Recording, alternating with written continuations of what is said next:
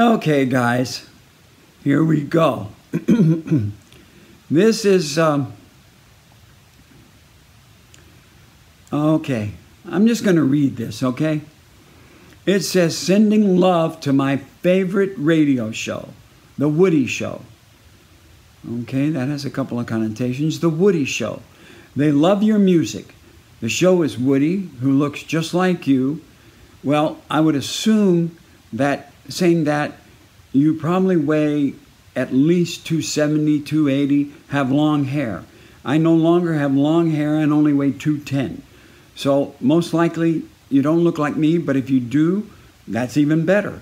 And then Greg, who always thought you were sexy, well, yes, and shows you to everybody else because I am a sex god. Now we all know that. and there was a there was one tour where I encouraged bra throwing on a first couple of shows. Well, word of mouth caught on. And I would guarantee you, and I know a lot of bands had bra throwing for a period of time, but I guarantee you this we I would double down any bet that and what the lighting crew did is every bra that was thrown on stage the next day when they put the lights up, they attached those uh, the lighting rigs with bras, and we had a count of almost 6,000 bras hanging from the lighting truss. And also, there was one we didn't hang.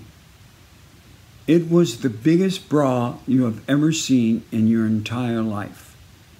I don't know, it, eh, beyond me, way beyond me. And I picked it up and I was asking for the woman who wore it to come up, and I never saw her. It was, I, maybe it was a joke. maybe that's why nobody came forward, because if somebody had that big of breast, I think they would come forward and take acknowledgments for it, but maybe not. But I, now, you know what? I never thought this until, until I'm talking to you guys. That was a joke. But I, I used it every night after that. And the bras just kept coming. And we, I guarantee you, it was more than 6,000. and they, they stopped hanging them. They didn't have enough room. And they, they just kept coming. And that was a, oh, it had to be more than 6,000. Because that was a 48 show European arena tour. Uh, yeah. That was, um, and no, that wasn't the tour. We set, we set the record and there was a, a, a arena outside of London called Wembley Arena. they changed the arena, and, and, we went back there and played that arena, and it's it's five thousand seats larger, whatever. But this arena, Elton John held the record for Wembley Arena, most Wembley arenas, right? And uh, Elton likes to uh, project himself onto other people a lot, and he went around doing. Anyway, I broke his record. We did 16 sold out shows. But he never wanted to acknowledge that, and he continued to say, and even to this day, I have the most arenas sold in Wembley Arena at 12. And I'm not going to, I don't, I'm not going to get into an argument with Elton. I was on a TV show with him once, and he got mad because I took off his hat. I didn't know he was bald and wore a toupee. I had no clue. But I guess he was afraid when I took off the hat that the toupee would come flying off. It didn't.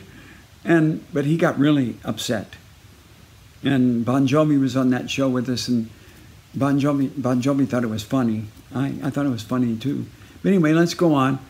Greg almost thought I was sexy, and well, he's correct. that um, that is, uh, and and to to prove it, one of the last editions of Playgirl, they voted 10 sexiest males. And I believe Harrison Ford was number two. I can't remember who was number one. Uh, but good old Meatloaf here at 267 pounds was the 10th sexiest male in the world. Right on, dude. So Greg, Greg must be the most intelligent one of the bunch. And so then Ravi who would do anything for love. Now I'm going to question that. I, I'm just me between me and you. I'm questioning, and then I've got Menace, who likes to eat actual meatloaf. Well, I have one question. What the hell's wrong with that? It, and, it's, and you spelled it right.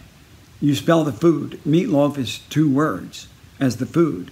And Meatloaf, the artist, is, I mean, Meatloaf, the food is one word, and Meatloaf, the artist, is two words. So when you talk to me, you don't say meatloaf, you go meat. Hey, meat, so what do you think about this? Or meat, what do you think about that? So it's just meat. And it's been meat since I was four days old. I didn't come, we didn't sit in a room and go, well, let's think of a great name.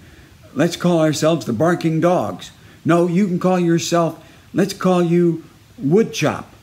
No, let's call yourself Woodshop. How about Woody the Plank? How about Plankwood? How about Raving Forest? How about Raving Lunatic? Because you sort of are. Or anything. No. The record company, after, okay, we got signed to a record company and they wanted us to do two songs of theirs. We said no. So they dropped us. Then we got signed to Todd Rundgren's label, but the album became too expensive. He thought he could cut the album for like 35000 and he got to 75000 and went, no, I can't do it. So he turned it over to another company, his manager, who I can't remember his name, but famous. I can't believe it. And I'm not going to spend the time on the internet right now to look it up. And we went to his record company, and the album came to a $100,000 budget. It became too expensive for him. So the president at the time of uh, Warner Brothers, um, oh man, I can't remember anything, came in. I sang for him. He wanted to sign us to Warner Brothers. So he brought us all. I brought Ellen Foley, me, Rory Dodd, Jim, all out to California to present to the entire record company. And we went in the office of, um, I just had his name before I was going to tell you. Good Lord. Boy, I tell you, when you get to be 37, you start losing your memory. And anyway, I sang it for him, and his girlfriend was Jennifer Warren. Um, uh, anyway, we sang the songs for them. And uh, Mo Ostin, that's Mo Ostin ran the company. Mo Ostin was sitting there with a big grin on his face, loving everything. And other people, the head of publishing was loving it, the head of publicity was loving it. Oh, they were all going crazy. But, and I made out with Ellen on Paradise. And um, he, Mo got up and said, Great, glad to see you. This guy, the head of A&R, flipped out and told them, We're not signing that trash to this label. And we went out that night with the head of uh, publicity or the head of the head of merchant uh, advertising, who absolutely went crazy. And we sit there at the table, the four of us with some other people from Warner Brothers at a great restaurant, had a great evening, doing great things. He was talking about how he could push it, how he, he could promote meat, the name Meatloaf, and we go, no, no, it's a band name. And he goes, well, I can do that too. And um, I can't remember what the band name is. Even though I wanted to, I couldn't remember it. But, and so then later on, the next day, David Sonnenberg, our manager, came in and said, Listen, I made some phone calls to uh, Miami Steve, Little Steven, as he's known. He was known Miami Steve back then. And uh, I'm trying to set you up a deal at a new label Steve Popovich, who was head of A&R, I said, well, we sang for Steve. And he liked us, but the rest of the company didn't want to know about us. And, um, which was oh, most people, I mean, Clive Davis was the kicker. Clive Davis, oh, Clive Davis made me so angry. Clive Davis looked at me and said, and he knew that I was an actor, that I knew I had done Broadway. I'd done four Broadway shows at that point, and I hadn't done the fifth one. Uh, and uh, Rocky Horror being one of them, and uh, Hair being another. And soon, soon as it opened and closed, and one more, and the fifth one was Rockabye Hamlet. And soon as that opened, it should have closed. But anyway, um, but the one thing that happened in Rockabye Hamlet, Beverly D'Angelo became my girlfriend, and we were engaged. But later on, we broke up, and Al Pacino, it became Al Pacino's girlfriend, and had his twin sons or daughters. And Al Pacino still doesn't like it that Beverly was with me. Ooh, too bad, Al. So anyway, like I said, you know, I got an offer you can't refuse. So anyway, um, so then David said, and Warner Brothers has turned you down, but we're staying here and we're not telling anybody. Turn us down? Why? We went to dinner, it was great. He goes, the head of A&R went crazy because you made out in his office with Ellen. I said, what? And he goes, yeah, he thought it was sexually explicit. Now, I want to see this guy with Cardi B now, okay? Are you kidding me? Come on, man. So, anyway, can you believe Joe Biden did an interview with this girl, Car Cardi B?